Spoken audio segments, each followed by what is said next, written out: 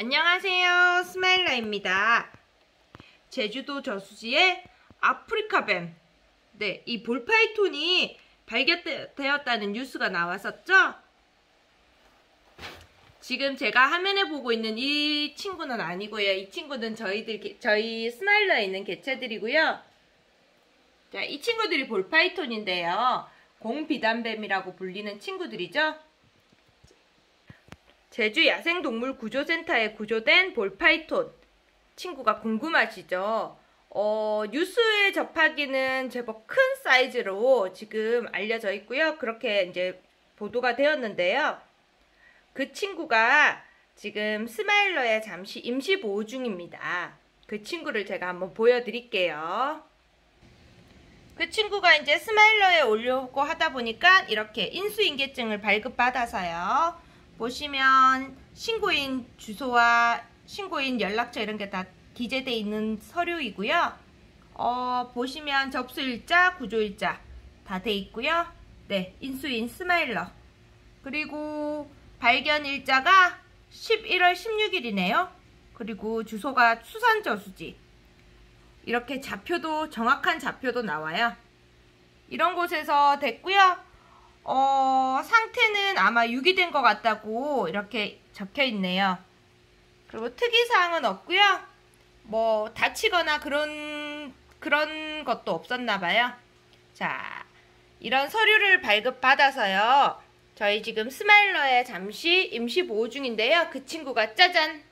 이 친구입니다. 오, 애기뱀이에요. 생각보다 좀 아기 친구이고요. 어, 감기가 걸렸을까봐 되게 걱정했는데 그렇지 않고 다행히도 그 야생동물보호구조센터에서 어, 마우스를 두 마리나 먹었대요. 그리고 아주 건강하게 잘 지내고 있고요. 그래서 스마일러에 이렇게 지금 오게 되었답니다. 아직은 긴장을 많이 하고요. 조금 음, 네, 조금 낯설어 해요. 그렇지만 이렇게 어, 구조센터에서 이 통에 담아준 거 보면 이 통에 이렇게 유기된 걸로 추정되는데 정확한 통은 어딘지 잘 모르겠어요. 통 사이즈는 한 20cm 되는 채집통이고요. 20에 한 20대는 채집통이고요.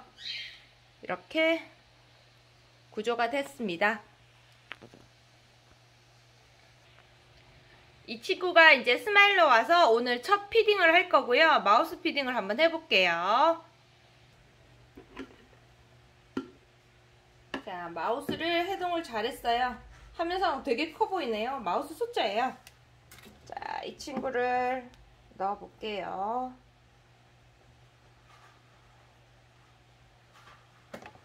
오, 보이시죠? 바로 반응을 해서 바로 먹, 먹었네요. 어, 건강하고 네 그런가 봐요.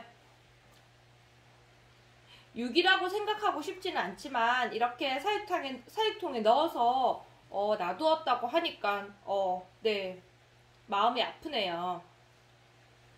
우리가 이렇게 애완동물이나 반려동물들을 분양받을 때는요. 이 친구들은 소중한 생명이잖아요. 그래서 끝까지 지켜줘야 되겠다는 생각으로 어, 분양이나 입양을 하시기 바라요. 그렇지 않으면 이렇게 유기가 되게 되면 이 친구들은 어, 아프리카에 사는 친구다 보니까 우리나라 자연환경에 적응을 못해요. 그래서 혹시나 날이 추워지면 감기나 이런 걸 아니면 다른 친구들의 표적이 될 수도 있고요. 어, 그리고 또 혹시나 우리 기후에 맞게끔 살아간다면 어, 혹시 우리 생태계에 또 이상한 생태계를 교란시킬 수 있기 때문에 꼭 유기가 아니라 환경부에나 신고를 하거나 아니면 네 다른데 이렇게 기증을 하시거나 하시면 될 거예요. 그런데 이 친구들은 사이테스잖아요. 멸종 위기종이다 보니까 서류 절차가 꼭 있어야 되잖아요. 아마 서류 절차가 없으면 얘네들은 불법 개체가 돼요. 그래서 이런 CITES, 멸종 위기종 친구들을 분양받으실 때는요. 서류 신고가 꼭 되어야 한다는 점 꼭 명심해 주시기 바래요. 자, 이 친구가 지금 마우스를 먹고 나면요. 제가 어, 저희는 지금 일반 사육장에 ball python이 있는데요. 어, 이 친구는 지금 베이비이기도 하고요. 저희 환경이 좀 시끄럽다 보니까 혹시나 안정을 좀 취할 수 있도록 제가 렉사장에 넣을 거예요. 자, 지금 한참 먹고 있기 때문에 이 먹는 먹는 동안 잠시 아이에게 휴식 시간을 좀 주고요. 다 먹고 나면 제가 영상을 이어가 볼게요. 거의 다 먹어가는 것 같죠? 제가 잠시 영상을 끄고 놔뒀더니 제가 조용한 데 갔다 왔더니 혼자서 이렇게 기특하게 잘 먹고 있네요. 쭉쭉쭉 목에서 넘어가는 게 보이시죠? 지금 있는 위치가 지금 이쯤인 것 같아요. 아, 되게 놀래죠? 어, 작은 소리에도 좀 예민하게 좀 반응을 해요. 이게 소화가 다 되면 제가 렉사장에 옮겨가지고요. 다시 영상을 이어가 볼게요. 이렇게 집을 이사를 시킬 준비를 하고 있어요. 이렇게 스네이크 밴딩을 깔아주고요. 물그릇을 넣어주고요. 이렇게 해서 조용하고 또 아이가 충분히 휴식을 취할 수 있는 렉사장으로 옮겨서 임시 보호를 하도록 하겠습니다. 제주를 아주 떠, 떠들썩하게 만든 친구가요. 바로 이 친구인데요. 네, 저수지, 저수지에서 발견돼서 동네 주민분들이 깜짝 놀랐다고 하죠. 어, 실질적으로 보면은 좀 큰 몸이 좀 크다 보니까 큰 편처럼 느껴져요. 그렇지만 이 친구는요 아직 아기 ball python이고요. 얼굴 모양이 이렇게 꼭 삼각형이어서 사람들이 독사로 오해를 했었대요. 그리고 몸 굵기는요 어, 제 손가락으로 치면 어, 한 마디보다는 조금 더 한 마디 반 정도 되는 친구예요. 제 손가락으로 한 마디 반 정도 되는 것 같아요.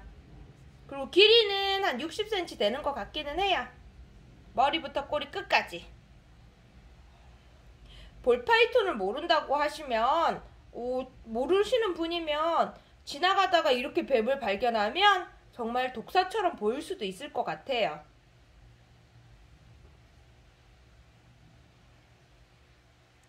여러분, 반려동물이나 애완동물은 네, 생명이에요. 그러니까 유기하지 마시고 네, 꼭 끝까지 책임질 수 있도록 분양이나 입양 시 꼭 한번 다시 한번 생각해 보시길 바랍니다.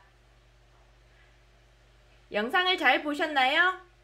영상을 잘 보셨다면 좋아요와 구독 꾹 눌러주시고요. 알람 설정도 부탁드립니다. 감사합니다.